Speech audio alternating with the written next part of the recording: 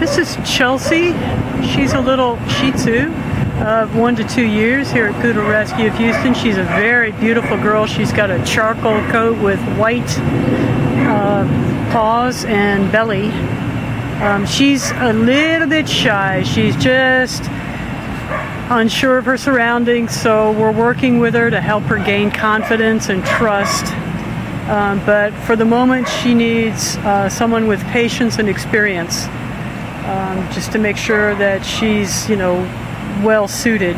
So she'll need to go to a home with uh, probably adults only and someone who's got a lot of patience and love to share with her. So do come by Poodle Rescue of Houston 9 to 4:30 to meet Chelsea.